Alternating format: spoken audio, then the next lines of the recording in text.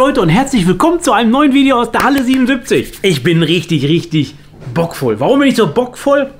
Bockvoll. Bockvoll ist 5-Zylinder Kult. Ich habe jetzt in den letzten Videos öfters mal ein paar Viersters gezeigt, ein paar Polos gezeigt, Kadett C ganz viel. Und ich habe oft gelesen, Marco ist ein bisschen wenig 5-Zylinder geworden. Ne? Und ihr habt gerade schon im Thumbnail erkannt, worum es heute geht. Wir haben ein T3 Doka und dann noch mit einem ganz geilen Umbau. Aber was soll ich jetzt hier lang rumstehen auf der Stelle? Lasst uns zum Auto gehen und mal ein bisschen was zeigen. Du hast das ja schon gesehen ein paar Mal. Wir haben ein bisschen was dran gemacht. Jetzt sieht er erstmal, wir kommen mal ein Stück zurück völlig geil aus. Das Auto haben wir auch in dem Ist-Zustand mit den Felgen in der Farbe so gekauft. Aber die Bracke, wie ihr seht, ist hinten schwarz. Der war wirklich leider sehr rostig hinten. Kann ich gar nicht zeigen oder vielleicht sieht man es noch. Hat der Ralf ja schon gemacht. Hier sind so Sachen rausgebrochen, weil das ist leider geschweißt, was mir persönlich auch nicht so gefällt. Ich fände es halt geiler, wenn noch dieses originale Scharnier hier wäre, man könnte ihn klappbar machen. Und normalerweise wäre das ja zu, dadurch, dass sie aber nicht klappbar sind, könnte es ja nur gar nicht mehr beladen. Ich habe mir jetzt überlegt, ich werde hier einen Winkel hin machen, da einen Winkel hin machen und so ein Brett reinschieben, dass wenigstens die Sachen, die hier drauf liegen, nicht runterfallen können. Aber das Wichtigste, da ist er unser Fünfzylinder-Motor. Und zu dem Motor gibt es auch einiges zu erzählen. Der lief erst nicht richtig. Da war alles Mögliche verstellt. Und ich habe ihn ja direkt mal auf den Prüfstand gestellt und wir hatten Fünfzylinder typisch 136 PS. Was müsste der haben? Also 120? 88. 88 PS hat er nur gehabt und dann habe ich gesagt, okay, wir verfugen mal. Dann war alles, was man verstellen kann, an dem Motor verstellt. Mittlerweile sind wir bei einer Leistung von 121 PS. Für einen 15er sehr, sehr Ja, gut. Ne? gut, Mehr gut. Leistung wie unser frisch aufgearbeitetes Coupé. Was wir auch gemacht haben, komm mal mit. Wir haben den Innenraum etwas schöner gemacht. Der Wagen war von innen komplett nackt. Da war gar nichts drin. Die Sitze standen einfach da drin. Das war's. Armaturenbrett war leer. Wir hatten keine Türverkleidung. Wir hatten keine Teppiche. Wir hatten hier keinen Filz, keine Fußmatten, keine Lüftung, kein Gebläse, kein Himmel. Und wie du siehst, hinten ist er immer noch leer. Warte, ich kann es auch leichter machen. Vielleicht einfacher. Hinten ist er noch leer. Keine Verkleidung, kein gar nichts. Und das habe ich alles schon nach und nach so ein bisschen gemacht. Für mich ist das ein Highlight, weil es im 15 ist. Ich, kann, ich kannte diese Busse noch aus früherer Zeit, wo ich 18, 19, 20 war. Hast du irgendwas schon gesehen, was dir so auffällt oder was, was Ich finde einfach die Form ultra geil. Also der ist, ist der tiefer? ja, natürlich, der ist fürchterlich tief. Also das ist das Vor- und Nachteil. Wenn du guckst, diese Radläufe hier sind auch ausgestellt. Also sonst würde das gar nicht da drunter passen. Normal, wir zeigen mal einen normalen T3, warte. Einen normalen T3 hat äh, eine relativ gerade Kante, da würden die Räder gar nicht drunter gehen. Jetzt habe ich aber ein großes Problem mit der Optik, weil das haben wir ja schon mal. Dadurch, dass der hinten so rostig war und wir die Farbe noch nicht rausgefunden haben, welcher Farbton das ist und gleichzeitig das Auto auch relativ bunt ist, weil wenn ihr genau hinguckt, siehst du, dass hier oben das heller wirkt? Boah, das sieht echt, das, nee, das sieht man glaube ich gar nicht. Es ist ein helles Blau. Siehst du aber auch, wenn du von hinten guckst, hier unten ist es auch ein helleres Blau. Also mit den Lackfarben hat es einer nicht so ernst genommen. Und vielleicht finden wir noch die Originalfarbe von dem Bus. Das ist die Originalfarbe des Busses. Also dieses Auto ist schon bunt wie ein Flummi. Jetzt haben wir das erstmal schwarz abgesetzt. Ich persönlich finde, es sieht aber scheiße aus. Ist. Ja, sieht echt nicht so gut aus. Gib mir mal 10 Sekunden, ich bin gleich wieder hier. Jetzt hatte ich überlegt, das farblich abzusetzen. Aber welche Farbe kannst du zu Blau gut passend machen? Weil das Dach, wie gesagt, auch ein Ticken heller ist. Kommt jetzt nicht so rüber, aber ist deutlich. Habe ich mir überlegt, so ein Farbton, das Dach und gleichzeitig hier die Bracke. Ach, beige? Ja, so ein? Altweiß. Findest du nicht? Boah, das weiß ich nicht, Marco. Aber äh, welche Farbe du Du warst sonst ein bisschen absetzen? lange in der Sonne heute auch, ne? Warum? Junge, wie, kommst du denn auf beige? Ja, weil das eine Retrofarbe ist. Jetzt Meinst du echt? Das sieht doch nicht schlecht aus. Boah, ich glaube, da, da, boah, Aber vielleicht habt ihr eine Idee, ich weiß es noch nicht, aber in schwarz sieht es falsch aus. Am geilsten wäre natürlich die Originalfarbe, weil der Rest des Busses, muss man auch mal sagen, ist gut. Normalerweise, hier haben wir eine kleine Rostblase. Jeder von euch wird sagen, oh Marco, komplett Schrott. Aber die Sicken von dem Auto, hier zum Beispiel, Radläufe, Einstiege, hier, überall kein sichtbarer Rost. Wurde wahrscheinlich alles gemacht. Deswegen eine Volllackierung für dieses Auto. Kommt auf gar keinen Fall in Frage. Ich dachte mir, ein schönes Altweiß würde dazu gut passen. Oder so ein Beigefarben. Aber da bin ich mir noch nicht sicher, weil irgendwas müssen wir absetzen. Aber was reden wir jetzt so viel? Wir wollen ja nicht nur reden, wir wollen auch mal zeigen, ne? Also ich bin gespannt, was du dazu sagst, wie so ein Bus fährt, wie sich das anfühlt, weil wir sitzen ja, wie du gleich siehst, auf der Achse. Komm, wir springen ins Auto und fahren eine große Runde. So, Vorsichtig einsteigen hier. Wieso vorsichtig? Ja, weil die Tür so hoch ist. Also. Und wenn die jetzt aufklappt, habe ich eine Beule im Auto. Und ich, kleiner Fettpummel, muss mich hier reinquetschen. Weil es ja recht hoch. Boah. Merkst du, dass hier hoch Aber es gesetzt? hört sich auch an wie eine Halle hier drin, ne? Und das Gute ist, wir haben ja hier schon gedämmt drin. Äh, warum heißt das Doka? Doppelkabine. Also. Es gibt ja auch eine Pritsche, eine T3 Pritsche. Das bedeutet, du hast nur hier dann ist hier Ende, dann geht's runter und deine Pritsche ist da. Und hier hast du ja nochmal eine Sitzbank. Die haben wir auch schon, aber die müssen wir dann zum Sattler bringen und den ganzen hinteren Raum müssen wir noch fertig machen. Ich sage ja, dieses Auto, ich glaube, der Motor wurde vor 10, 11 Jahren hier eingebaut oder schon etwas länger her. Und seitdem wollte den jeder mal fertig machen. Ich weiß nicht, ob man es kennt. Es war wieder alles zerlegt, nichts funktionierte richtig. Äh, keine Türverkleidung, keine Teppiche. Es sieht ja jetzt hier schon mal echt Ich wollte gerade okay sagen, aus. Aus. Ich glaube, ich finde kein Bild, wie der mal original aussah. Deswegen wollte ich ihn auch noch nicht zeigen. Und typisch Fünfzylinder. Wer kennt es nicht, dass die so ein bisschen schlechter anspringen. Und der zack, Hühnerus getickert und jetzt ist er sofort da. Was noch geil ist, guck mal hier, VW-Bus T3 mit Servolenkung. Das ist schon mal selten. Wenn du jetzt keine Servolenkung hättest, mit den dicken Walzen da vorne drauf, keine Chance. Guck mal als nächstes das Schaltschema an. Was fällt dir auf? Äh, ja, das, die 1 ist unten links. Die 1, ja, der erste, genau. Erste Gang, das ist wie beim äh, Z, nee, G-Track-Getriebe sind das. Äh, der ZF-Sportgetriebe, glaube ich, heißen die. Beim alten Muss man aber aufpassen, ne? Weil sonst ist, ist Ja, du könntest- ruckzuck der Rückwärtsgang drin, ne? Nee, der Rückwärtsgang ist hier. Ach, musst du runterdrücken. Ah, okay. Aber was du jetzt machen würdest, wenn du nicht da drauf gucken würdest, auch kein Pin war, würdest du jetzt so machen, den ersten? Guck mal, könntest du rein theoretisch auch anfahren. Guck mal, wir fahren jetzt im zweiten Gang. Also dir würde das jetzt gar nicht auffallen. Das liegt aber auch daran, hier haben wir halt einen relativ äh, drehmomentstarken Motor. Und ich glaube, das Auto, wo ihr das in dem Video gesehen habt, habt ihr euch gefreut. Ich glaube, hier gibt es eine riesen Community, was T3-Bus betrifft. Wirklich riesig. Jetzt fragt ihr euch, verkaufst du den? Definitiv bleibt der in der Halle 77 erstmal. Irgendwann wird vielleicht alles mal verkauft, aber sowas bekomme ich ja kein zweites Mal wieder. Also sehr, sehr schwer oder extrem teuer. Und das Auto stand bei Kleinanzeigen drin, habe ich mich selber gewundert, hat wieder mal keiner gekauft. Also falsch, es war einer da, das hat ihm irgendwie nicht gefallen. Aber ich muss dazu sagen, so wie er jetzt aussieht, kauft den wahrscheinlich jeder, auch schon für viel Geld. Aber da, wo der angeboten wurde, war es halt nicht so geil. Das Getriebe ist auch so ein bisschen, guck mal, zack, vierte Gang drin so ein bisschen wabbelig. Also da merkt man, das ist natürlich auch eine riesen Umlenkung, müsst ihr euch vorstellen. Hier vorne ist der Schaltpin, unser Motor ist ganz da hinten am Ende. So, jetzt habt ihr so eine, eine Stange runter mit einer Umlenkung, eine Riesenstange, die nach hinten geht, die aufs Getriebe kreist.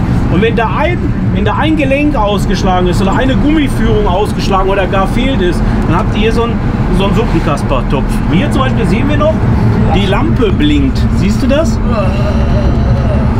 Das bedeutet eigentlich, dass zu wenig Kühlwasser drin ist oder der Motor überhitzt ist. Aber in dem Falle ist weder noch, das haben wir schon überprüft. Was, was mir aber auch wieder auffällt, der Tank ist wieder leer.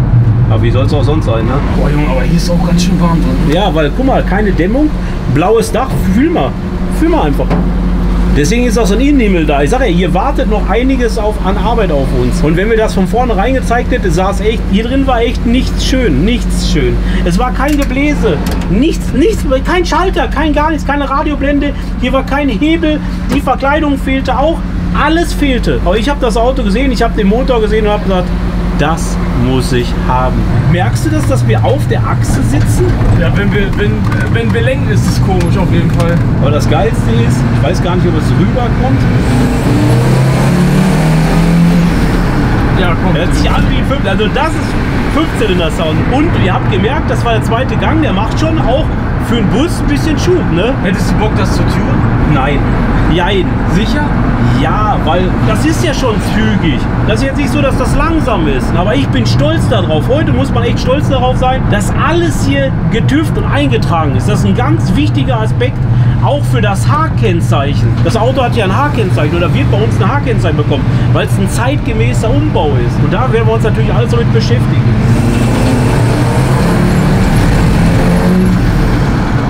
Boah, Sound ist geil. Sound ist so geil. Der Auspuff kommt bei dir an der Seite raus. Das ist alles Serienauspuffernlagenteile. Also das ist, glaube ich, eine Schalldämpferanlage von einem Mercedes oder von einem Mondeo, glaube ich, wo der Eingangsrohr auch gleichzeitig das Ausgangsrohr ist. Weil wir haben ja platzmäßig müsst ihr euch vorstellen, ist der Motor gedreht. Der Motor guckt ja jetzt mit der Riemenscheibe, der Zahnriemenabdeckung nach hinten. Und das Getriebe hiervon ist vom T3 wieder. Also eine ganz komplizierte Technik. Und gleichzeitig will die Auspuffanlage hier in dem Falle, wenn der Motor falsch rum drin sitzt, wo will die Auspuffanlage hin?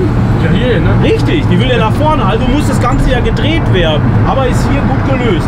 Aber trotz alledem, dass das eine Serienausverlage mit so einem kleinen Endrohr ist, kommt hier gut Sound drüber. Und was ich auch gut finde zu dem Sound, ihr seht jetzt leider den Tacho wahrscheinlich nicht. Doch, kriegst du. Machen wir den dritten Gang rein.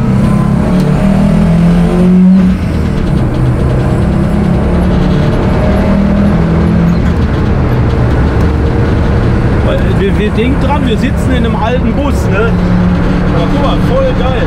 So, wir fahren jetzt eine Geschwindigkeit von fast 120 km/h. Also das ist für einen Bus Beschleunigung, Kraft, alles völlig ausreichend. Also das fühlt sich alles Bombe an. Und was wir jetzt mal zeigen können, ihr habt ja gesehen, erste Gang. Und das ist das, was ich meine. Ich bin mir ziemlich sicher, dass viele Busfahrer von euch, bin mal gespannt, was ihr dazu sagt, auch auf dem zweiten Gang anfahren. Ich glaube schon, dass man da oft auch im zweiten Gang mit anfährt. Das probiere ich nämlich jetzt mal aus, weil wir haben hier einen drehmomentstarken Motor. Guck mal, da wird wird gar nicht auffallen, dass wir jetzt im falschen Gang angefahren sind. Also ich glaube, viele, die schaltfaulen, die fangen gar nicht erst im ersten Gang an. Aber an sich, cool, ne? Wir benutzen die als Camper und sowas, richtig? Ja, einen T3 Doker jetzt nicht unbedingt, aber es gibt ja einen Westfalia zum Beispiel, also einen ganz normalen Bus. Da hast du ja einen, innen drin einen Ausbau. Das hier, die T3 Pritsche, würde ich eher sagen, war das typische, oder D3 Pritsche und Doker, waren so die typischen Baustellenautos.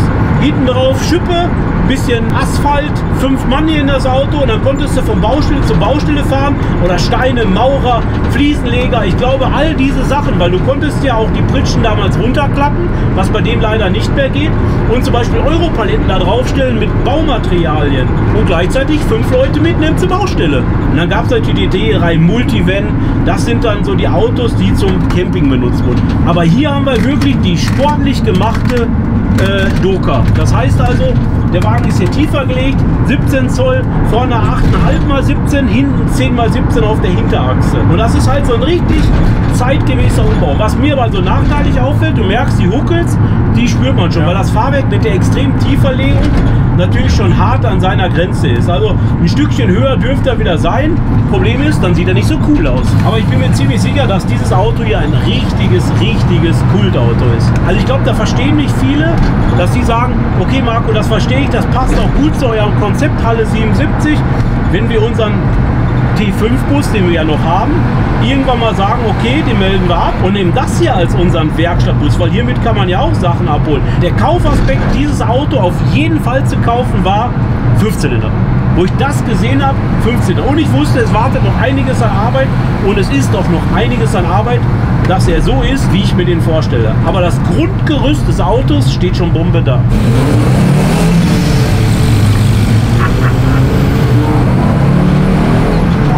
Und ich sag dir, für einen Bus ist das eine gute Beschleunigung. Ich wollte gerade sagen, fühlt sich echt gut an. Ja, und es fühlt sich auch geil irgendwie an. Also Ja. mit Verbindung mit dem Motorsound ist das der Bombe. Das Gute ist, das Auto hat auch eine Anhängerkupplung. Also hiermit kannst du auch richtig was machen. Der sparsamste wird es nicht sein, aber wie gesagt, du hast ein Kultauto mit einem Kultmotor verbunden. Also hier ist meiner Meinung nach die volle Punktzahl an Kultstatus erreicht. Ich glaube, mit T3-Kabern macht man nichts falsch, ne? Nein, der T4 hat auch eine riesengroße Beliebtheit. Das ist der Nachfolger. Aber ich glaube, der T5, T6 und T62, 138 oder wie sie jetzt auch alle heißen, das ist dann schon wieder schwierig. Ich glaube, der richtige Kultstatus ist natürlich T1, T2, T3. T4 gibt es auch nur eine große Community. Ich weiß zum Beispiel, dass viele T5-Fahrer, die sich einen gekauft haben, zurück auf T4 wieder gesprungen sind. T3 ist, glaube ich, mit der T2-Community die größte. Glaube ich. Aber allein, hör mal, wir sitzen in einem Bus. Normalerweise denkt man jetzt an so einen klappernden Diesel. Ne? Aber hör mal. Klingt eher wie ein Sportwagen, ne? Hört genau hin. Es klingt so geil, das Teil. Um es mal kurz anschaulich zu zeigen, das Thema Auspuffanlage, was wir gerade besprochen haben. Der Motor sitzt ja so, als ob er jetzt vor einer Motorhaube steht. Der Auspuff will ja in die Richtung. Aber rein theoretisch müssen wir ja hier Ja, hin. ja. Wird super schwer, genauso wegen den Rädern, weil seitlich sind ja die Räder wegen Platzangebot. Komm mal mit. Hier geht ja der Motor lang. Und guck mal hier unten. Siehst du die Auspuffanlage. Bis nach da vorne, dann macht sie einen Topf und dann geht es hier raus. Und da ist unser kleines Endröhrchen. So, und jetzt hör mal. Man hört trotzdem.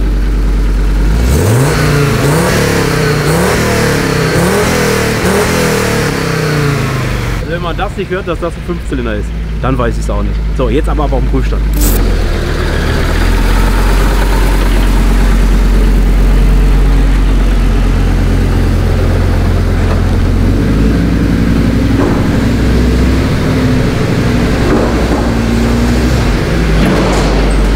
Heute ist der Julian laut am Auto und schnallt ihn fest. Oh, was ich noch machen muss? Wir brauchen einen Lüfter. Am meisten bin ich gleich gespannt drauf, was der 15er heute an Leistung hat, weil ihr wisst ja, die sind ja auch mal so, mal so. Die Die launisch sind die, ne? launisch. Könntest du dir eigentlich vorstellen, das ist eine interessante Frage, die wir sind, damit jeden Tag zu fahren?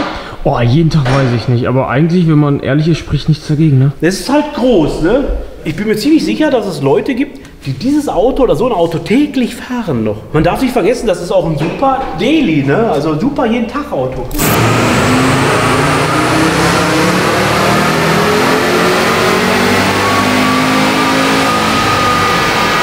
Wir haben im vierten Gang gemessen, wir haben ja Fünfganggetriebe. Im vierten Gang bei 6200 Umdrehungen fahren wir echte 158 km/h. Das bedeutet, wir haben noch einen fünften Gang. Rechnerisch könnte das Auto bestimmt so 190 fahren. Schafft er aber nicht, weil wir einen Windwiderstand haben, wie eine Schrankwand. Jetzt bin ich gespannt, heutige Tag. Heute hat er nicht so einen guten Tag. Wie gesagt, wir hatten bei kaltem Wetter 121 PS. Jetzt haben wir nur 115 PS, 171 Newtonmeter. Aber guck mal, bei 1500 Umdrehungen fast volles Drehmoment über das ganze Leistungsband hinaus. Deswegen fühlt das Ganze sich auch so extrem kräftig an. Und der Nachteil ist, wir haben den Motor ja hinten und die Ansaugung ist jetzt hinten hinterm Rad. Da kommt ja kaum kalte Luft hin. Das ist natürlich nachteilhaft. Aber das kann man alles verbessern. Und was wir alles noch verbessern und wie es auch dem Auto weitergeht, seht ihr in den nächsten Doka-Videos und ganz viele 15er-Videos. Ciao.